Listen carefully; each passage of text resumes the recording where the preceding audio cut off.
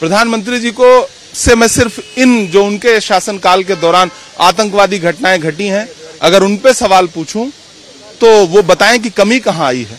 उसी कश्मीर में हत्याएँ हो रही हैं, उसी कश्मीर में कश्मीरी पंडित मारे जा रहे हैं, लगातार घटनाएँ घट रही हैं। इनके ही शासनकाल में पुलवामा हुआ कि नहीं हुआ? हमारे जवान मारे गए कि नहीं मारे गए? तो प्रधानमंत्री जी, लफ्जों की बाजीगरी से सच्चाई छुप नहीं सकती, बनावट के उसूलों से कि खुशबू आ नहीं सकती, कभी कागज़ के फूलों से। ये जो कागज़ी फूल आप खिलाना चाहते हैं ना, उससे काम नहीं चलने वाला है।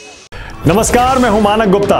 अगर आपको हमारा ये वीडियो पसंद आया हो तो इसे लाइक और शेयर ज़रूर करें।